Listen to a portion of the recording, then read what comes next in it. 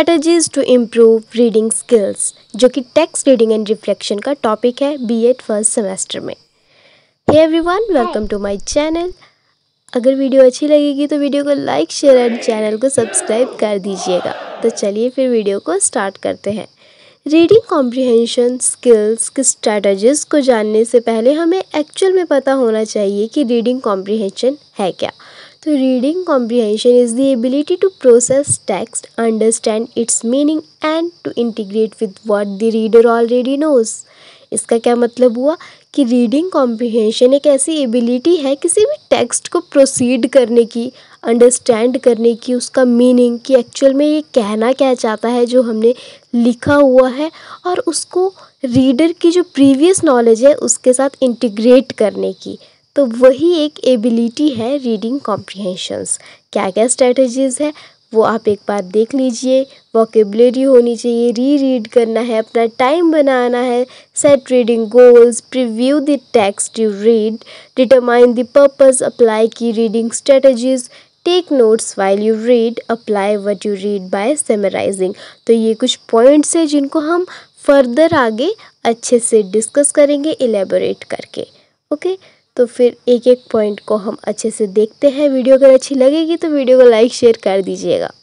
तो first point क्या है? एक्चुअल में पहले हम देख लेते हैं कि how to improve our reading skills तो reading is the process of taking in the sense और मीनिंग और letters symbols etcetera especially by sight और टच हम यही तो करते हैं रीडिंग में। क्या?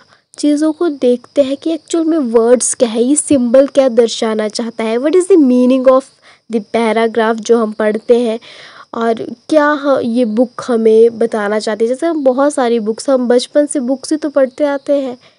हर एक बुक की अपनी अपनी सिग्निफिकेंस होती है। अब साइंस की बुक, साइंटिफिक नॉलेज देगी, मैथ की बुक, मैथ्स के बारे में हमें बताएगी तो हर बुक की अपनी अपनी एक स्पेशलिटी होती है। तो वही रीडिंग स्किल्स में आती है कि उनको हमने अच्छे से देखना है। फ़र्स्ट पॉइंट है set aside time to read each day हमने अपना एक टाइम बनाना है कि यस इतना दो घंटे अगर मैं अपना पढ़ाई पे दे रही हूँ रीडिंग पे तो मुझे इतना टाइम सेट कर लेना है हर दिन के लिए कि मैं न्यूज़ पढ़ूँगी आर्टिकल्स फिक्शंस क्या पढ़ना है magazine issues any kind of text जो भी हमारे पास अवेलेबल है। टाइम बनाएँगे हम और उसको रोज़ उसको फॉलो करेंगे ओके दूसरा पॉइंट है set reading goals set reading goals for yourself to help you develop a wider vocabulary gain a deeper understanding of different text and improve your ability to make connections between things you read and your own perspectives and ideas. For example, set a goal to learn different vocabulary related to central topics like business, management, technology और other subject. इनके regarding आप अपना एक गोल बना लीजिए कि हाँ इनको मैं पढ़ूँगी ही पढ़ूँगी Next point is evaluate our reading habits. Assess your reading habits to complete the any kind of survey. Good readers and good reading habit help them to become strong and fluent reading habits.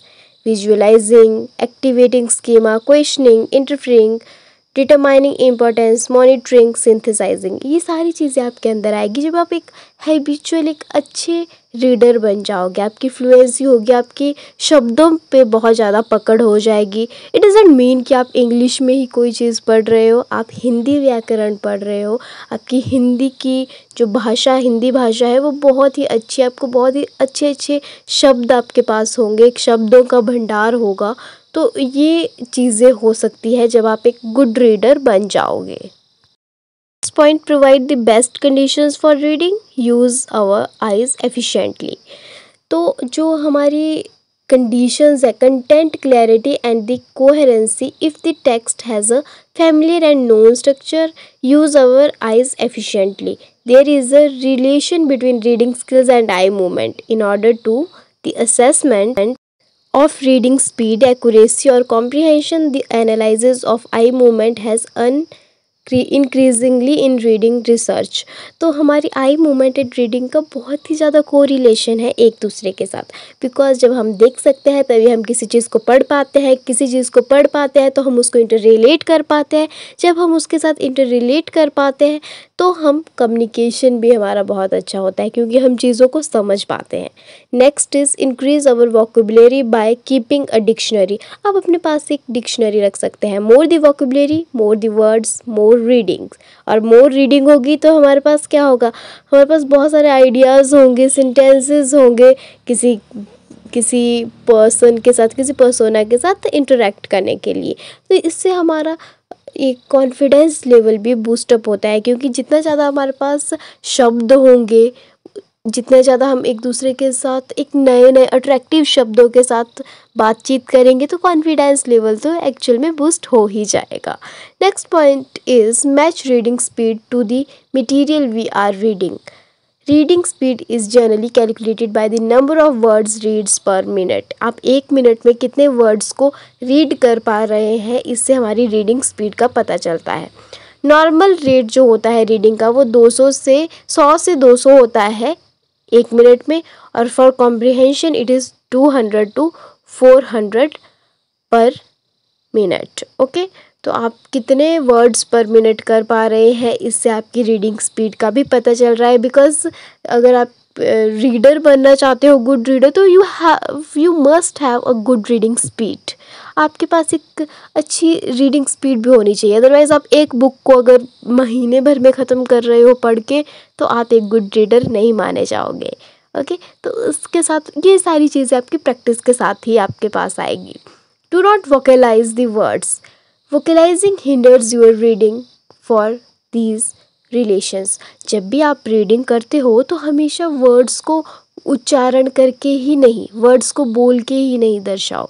आप मन में इन slow down your reading क्या करता है, जब आप किसी भी चीज़ को पढ़ते हो ना, ये आप एग्ज़ाम्पल आप कर लेना एक्सपेरिमेंट इसको, कि जब आप अपने मन के अंदर पढ़ते हो कोई लाइन तो आपकी वो जल्दी आप पढ़ पाते हो और अगर आप बोल के लाउडली बोलोगे या फिर आप वोकलाइज करोगे तो फिर आपकी जो स्पीड होगी वो स्लो होती जाएगी with respect to time next point to improve reading speed practice for about fifteen to thirty minutes each day आपको पंद्रह से तीस मिनट हर रोज़ प्रैक्टिस करना है अगर आपको अपनी रीडिंग स्पीड को इम्प्रूव करना है। अगर आप चाहते हो कि हमारी जो रीडिंग स्पीड है वर्ड्स पर मिनट 200 से 400 के बीच आए तो आपको 15 से 30 मिनट तो एटलीस्ट रोज़ रीडिंग करनी पड़ेगी। इससे क्या होगा? आप कैसे प्रैक्टिस कर सकते हो? इजी इजी वर्ड्स को लीजिए। अवॉइड डिस्ट्रैक्शंस का वो words that you already read उससे क्या होगा? आपका समय बचेगा। क्योंकि आपको मालूम है, अब देखो हमारी आँखें हमारी माउथ से पहले चलती है, हमेशा आप याद रखना। जब आप टू इम्प्रूव रीडिंग इस तरीके से पढ़ोगे तो आप बहुत स्लो होगे, लेकिन आँखें हमारी बहुत जल्दी से बहुत वाइड एरिया को कवर कर लेती है। तो हमेशा जो चीज़ आपने पहले पढ़ी है, उसको आप रिपीट करिए तो आपकी प्रैक्टिस बहुत अच्छे से हो जाएगी। नेक्स्ट है रीड विद पर्पस अब विदाउट पर्पस तो वेस्टेज ऑफ़ टाइम होगा तो कोई पर्पस जैसे आप साइंस की बुक पढ़ रहे हैं तो आपका कोई पर्पज़ होगा तभी आप पढ़ रहे हैं।